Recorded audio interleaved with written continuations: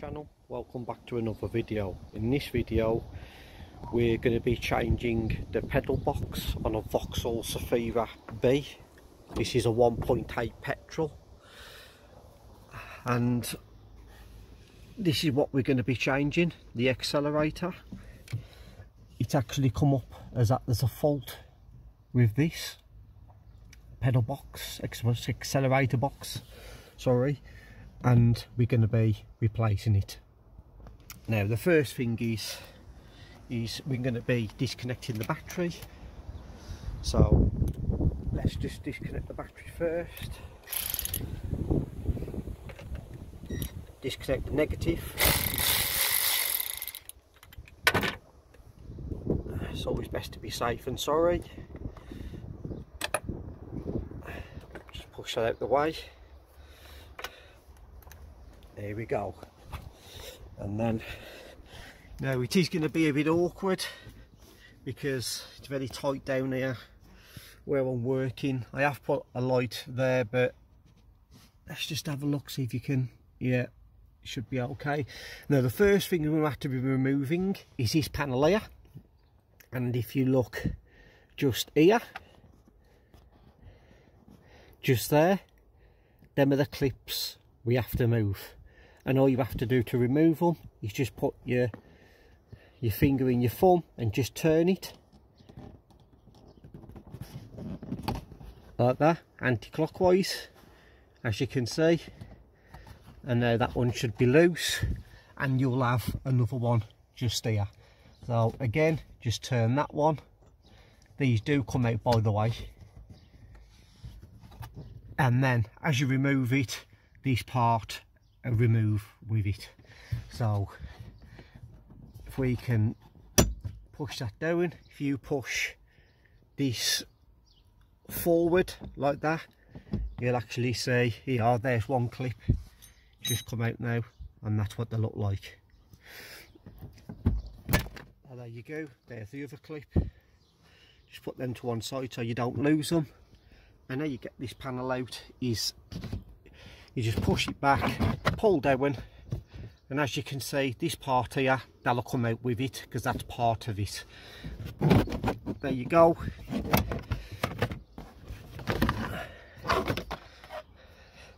And that's what this panel looks like. So she'll have one there and one there and if you just turn them anti-clockwise it'll just come straight out. And that's the bit I was on about. When you put it back together you'll have a slot on the back of the panel I've just showed yeah make sure it slots in there in that part there when you put it back. Now this is going to be a bit tricky for me to show you with one hand.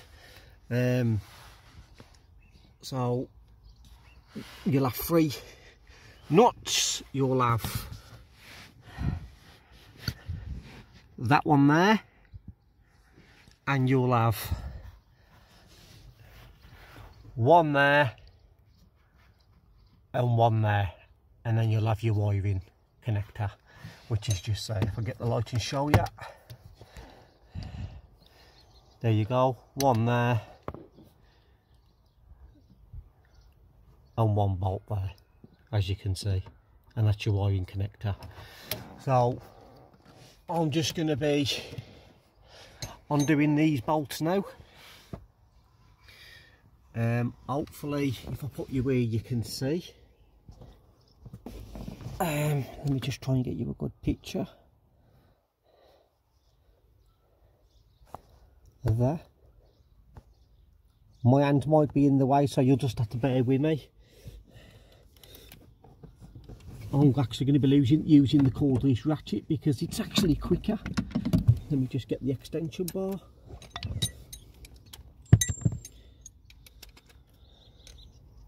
These are my 10 mil, by the way.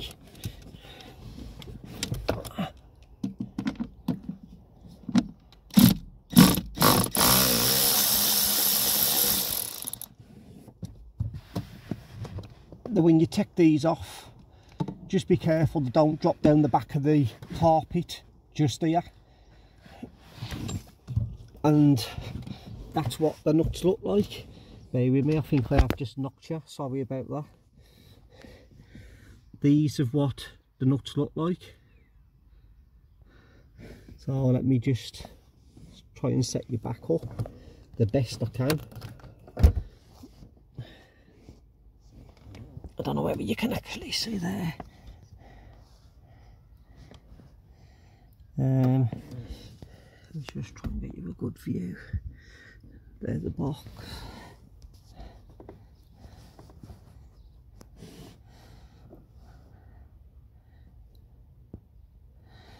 So I guys, I'm just trying to get you a good picture the best I can. So just bear with me. Um, I think the best thing I'm going to have to do is put you on the tripod. Um, can I get you there? Bear with me. I don't know whether you can actually see there, but Let me just get the next one.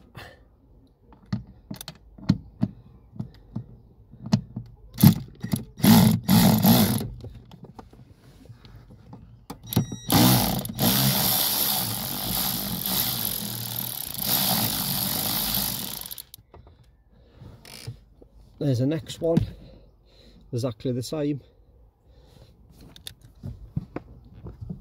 And the last one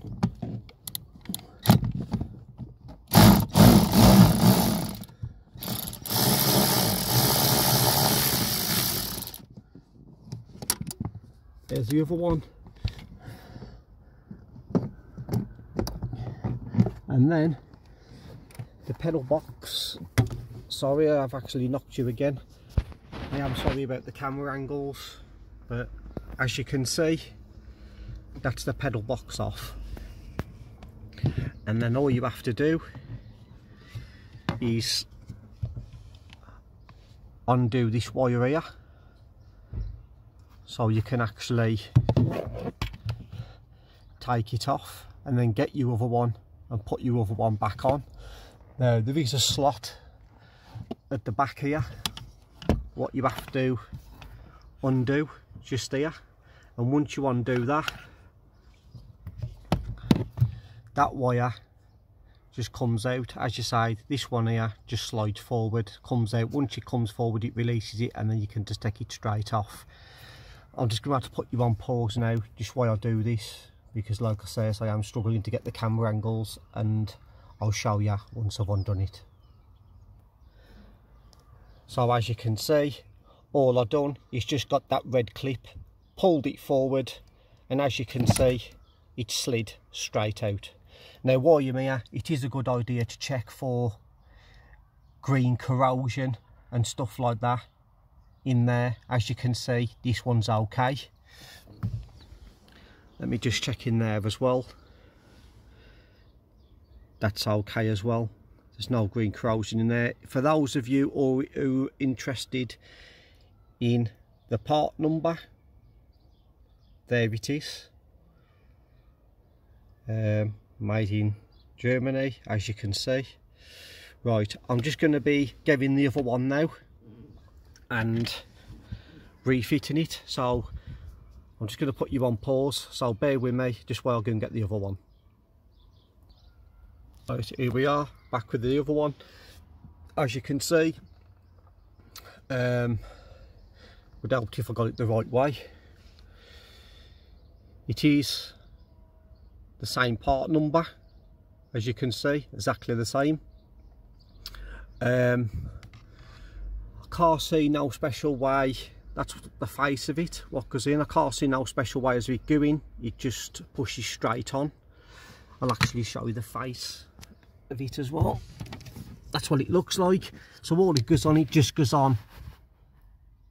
That one there and them two there. Put your bolts on. Put your wire on. Put your bolts on. Pull it back on. And there you go. So I'm just going to put you on pause now. Just while I put the accelerator wire back on. And then I'll be back with you. So there you go. I'm actually going to be showing you how to put it on. There you go there's your wire. If you just get your wire it does um, go on. It don't go on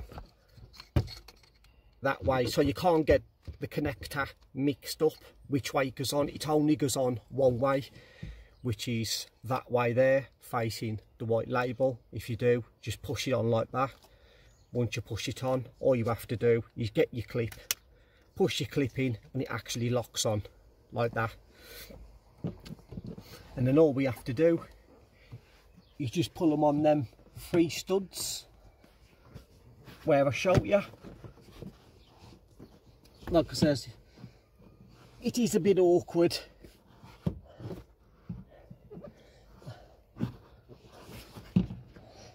Um, let me just try and line it up first. It would help. There you go. That's actually on there now. I am going to be getting start the nuts off first. Just like this I'm just using an extension bar. I'm just going to be pulling that on and I'm just going to be slipping the nut just on like that. As this will give you a big advantage. So I'm just going to be getting the top ones on first.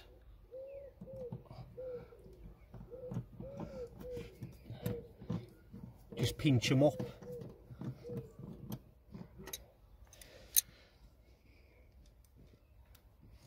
So this is the second one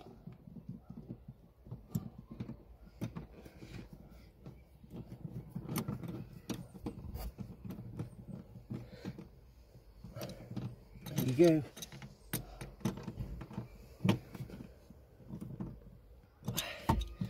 Um, just the bottom one now.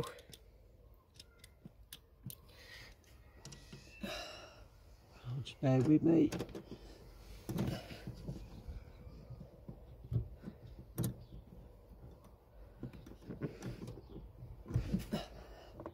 This way off.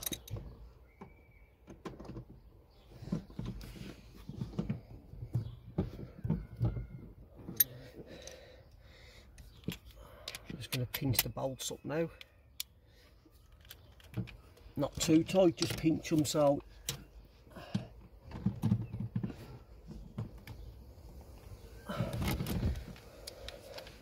oh. it is very figgly don't if you had it on the way one. It's tight.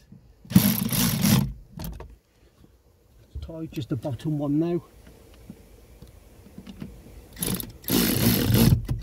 There you go. All back on.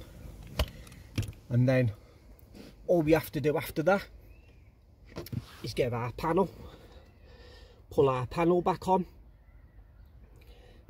which is just under there which you know where it comes off because I'll show you how it comes off like I said there are the clips that's what they look like. They just go on and turn like that.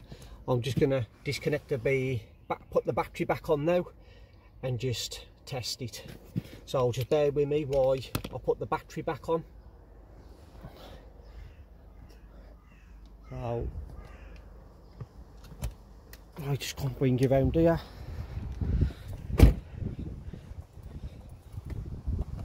While I connect the battery back up.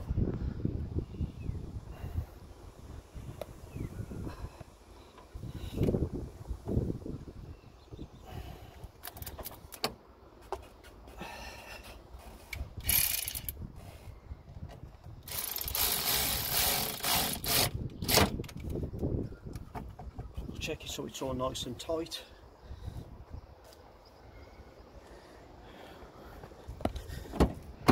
We just come back to the driver's seat now. Now all I'm going to do now, I'm just going to start it up and see if it actually revs. So just make sure it's in neutral. Start it up. Now I'm just going to press the accelerator pedal. Would help if you could see. So if I just press the accelerator pedal, I'm just going to see if it revs. Let me just turn the radio off.